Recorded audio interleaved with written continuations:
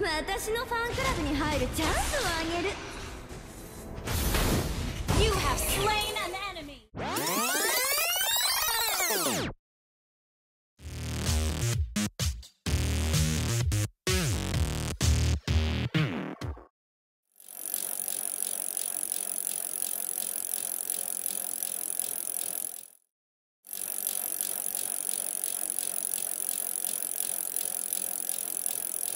What up humans? Kurumi here, and welcome to the Mobile Legends Reboot Camp. Reboot camps are made when there is a request from the higher-ups or the team just wants to do so. In this video, we are going to talk about the assassin mage hero, Selena. Selena has a good set of area of effect, stun, traps, and shapeshifting skills. Our Abyssal Witch, Selena, is an assassin mage hero. I consider Selena as a support ganking assassin since her traps grants vision on the map. She has two forms that has different set of skills that could help her on killing swiftly. Not only that, her Abyssal Arrow could stun you for up to 3 years. Now, let me share some tips and tricks on how to use Selena based on my experience. We will also teach you some combos and techniques on the latter part of this boot camp. But before that, let me explain her skills one by one for further understanding.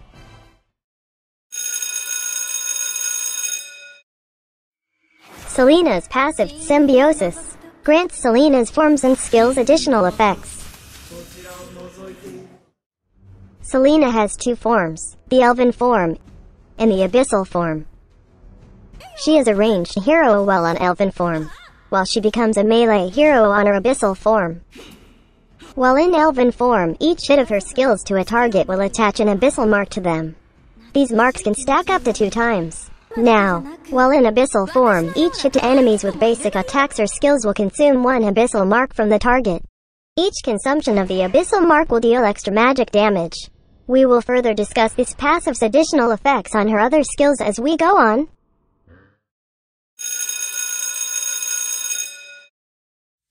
Selena's first skill on Elven form, Abyssal Trap, lets Selena summon an Abyssal Devil to lurk in a designated spot.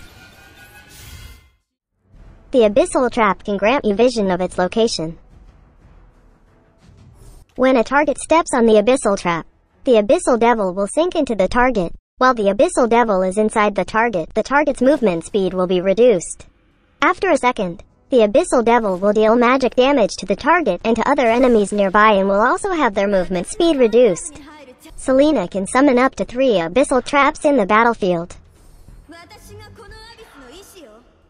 For each Abyssal Devil, the final extra damage will be decreased by 50%. Selena's first skill on Abyssal form, Soul Eater, lets Selena strengthen her claws.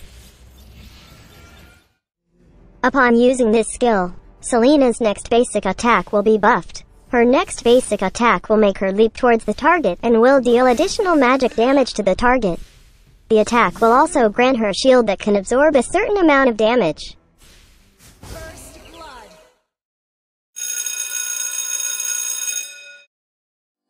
Selena's second skill on Elven form, Abyssal Arrow, lets Selena fire a magic arrow towards a designated direction. The first enemy hero hit by the arrow will receive a certain amount of magic damage and will be stunned from 0.5 up to 3 seconds. The stun duration and damage of the abyssal arrow depends on its distance traveled. The abyssal arrow absorbs abyssal traps along its path. If the abyssal arrow with an abyssal trap hits a target, the effect of both abyssal arrow and abyssal trap will be bestowed upon the target.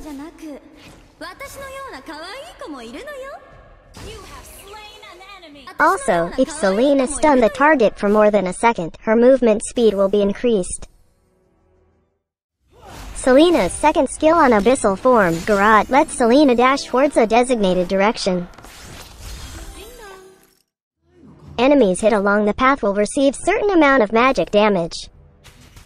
If this skill hits an enemy with an abyssal mark, it will be consumed and will reset this skill's cooldown, making it usable again.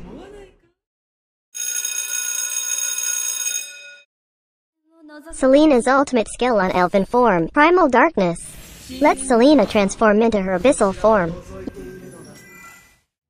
Using this skill will transform her into abyssal form and will have her movement speed increased. The transformation also resets the cooldown of her first and second skill on abyssal form, having it ready to be used immediately. While in this form, her basic attacks will deal extra magic damage to the target. Selena's ultimate skill on abyssal form, Blessing of the Moon God, lets Selena enter elven form. Using this skill will transform her into elven form and will have her movement speed increased. The transformation also resets the cooldown of her first and second skill on elven form, having it ready to be used immediately.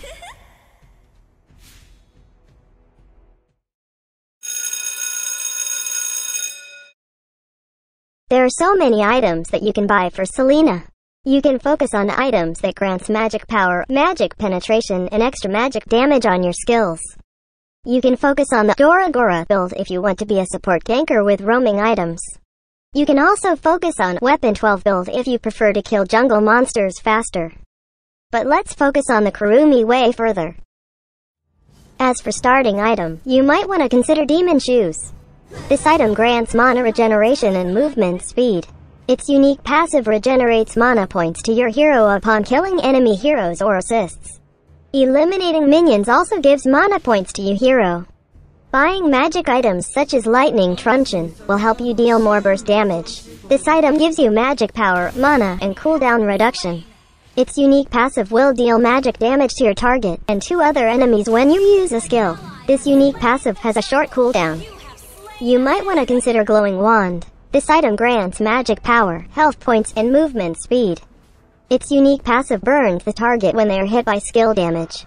The damage of this unique passive is based on a percentage of the target's maximum health points. You can consider buying Holy Crystal. This item grants a huge amount of magic power. Its unique passive increases your magic attack by a percentage. The percentage scales with your level. You also might want to consider Divine Glaive. This item grants magic power. Its unique effect grants a certain percentage of magic penetration on your skills. In addition, its unique passive grants extra magic penetration when your HP is above a certain amount. Lastly, you can consider Blood Wings. This grants you magic power and health points. Its unique passive adds health points for every points of magic power added to your hero. The additional health points can help you survive in team fights. The item build for Selena really depends on the enemy's lineup, so make sure you read each item's descriptions so you can adapt in-game.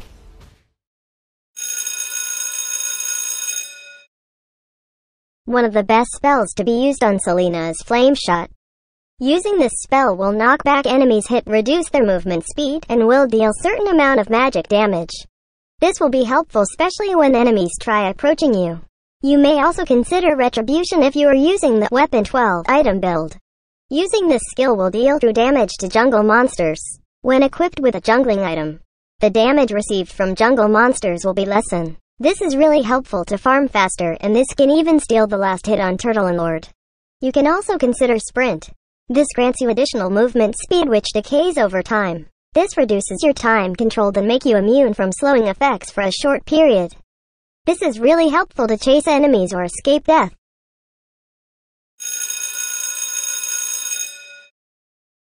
In my opinion, the best emblem set to be used is the Custom Mage Emblem set. Custom Mage Emblem could provide extra stats according to your needs as a magic damager. Set agility to its max level because it can give you additional movement speed. Higher movement speed means higher chance to chase enemies or escape death. Setting observation to max level will provide additional magic penetration on your skills. Higher magic penetration deals more magic damage to enemies. That means your skills will be more explosive. Get magic worship to deal more magic damage to the enemies. When dealing damage that is more than a certain percentage of target's max HP for 3 times in 5 seconds the target will receive a burning effect. This burning effect burns the target for 3 times. This effect has a cooldown of 12 seconds.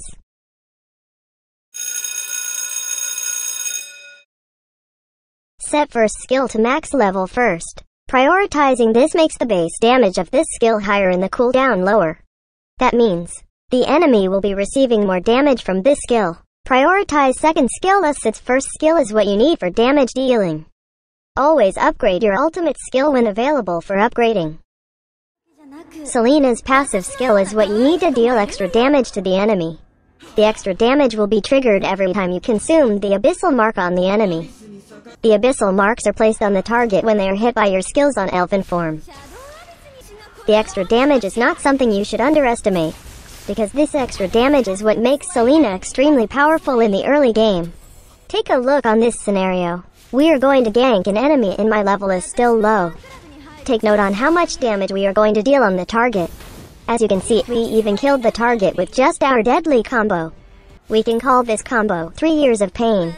I hope I need not to explain on why we named it that way. Selena's first skill is what you need for burst damage and sightseeing. On Elven form, you have Abyssal Trap as your first skill. You can plant these Abyssal Traps not just to serve as traps but also to grant vision to your team. You should put traps on hotspots like bush lanes where enemies pass by the most. Or the Lord and Turtle spot. By the way, you can only put a maximum of three traps in the battlefield. If you put a fourth trap, the oldest trap will disappear from the battlefield.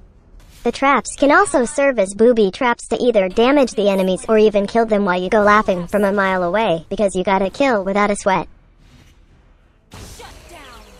You can also cast this skill in an instant to make it planted into the target's body. Now on her abyssal form, you have Soul Eater as your first skill. This skill will buff Selena's next basic attack with additional magic damage. Not only that, it will also grant her shield which could help you survive team fights further. When dealing basic attacks while buffed with Soul Eater, she will be charging towards the enemy to scratch their back. When jungling, you can also spam traps in the early game by using it in combo with your ultimate skill. Using your ultimate skill will reset its cooldown immediately. So going back to Elven form will let your first skill available again.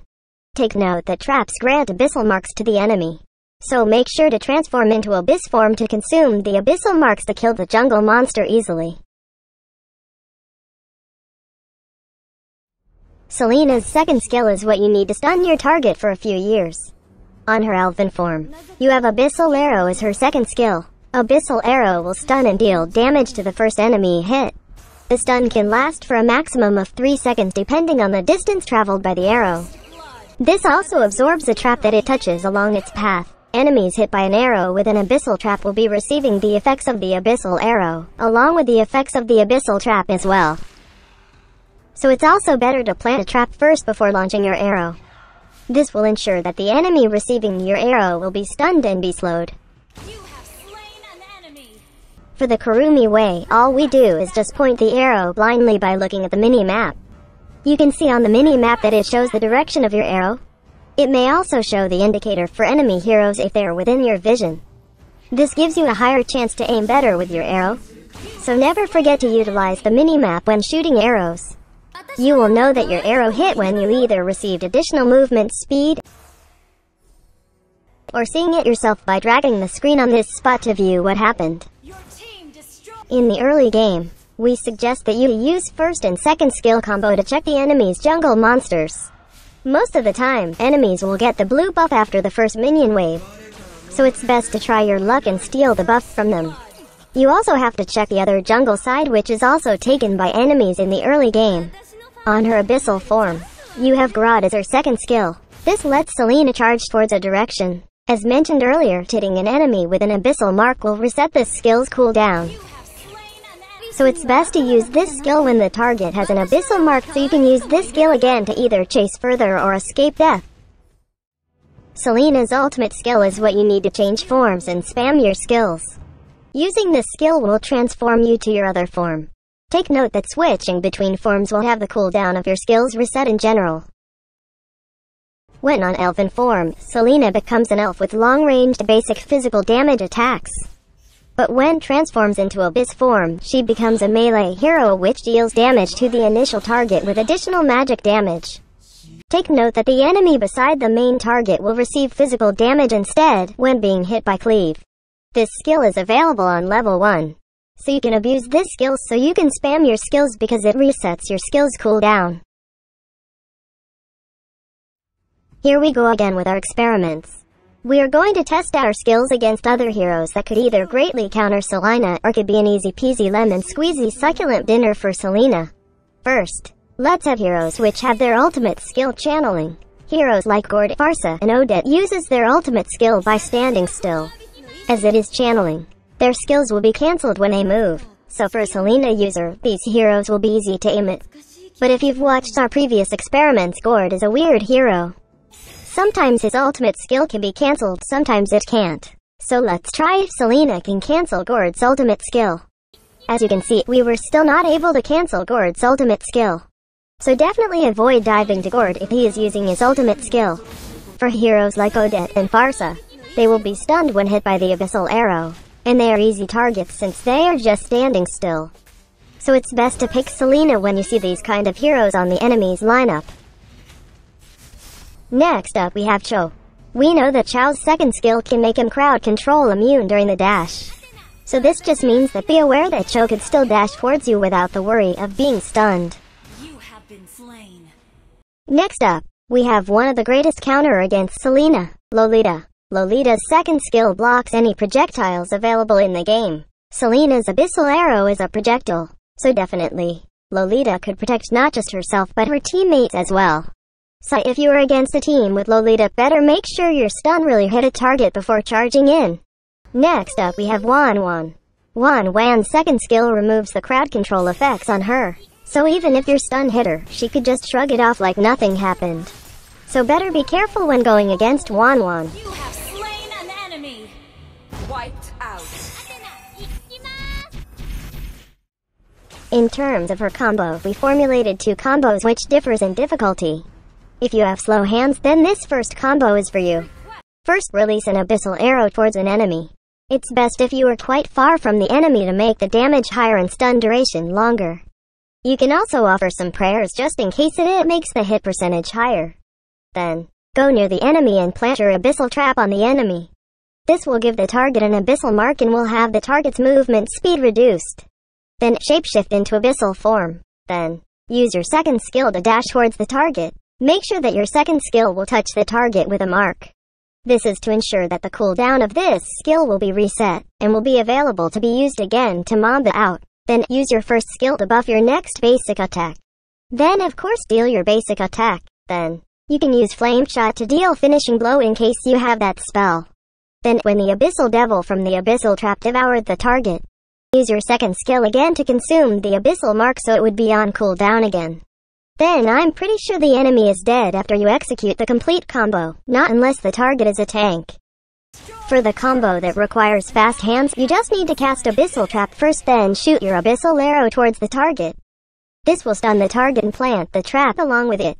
Then just follow the combo we thought you earlier. Shapeshift. Second skill. First skill. Basic attack. Flame shot or second skill. Then be thankful for the bountiful kill.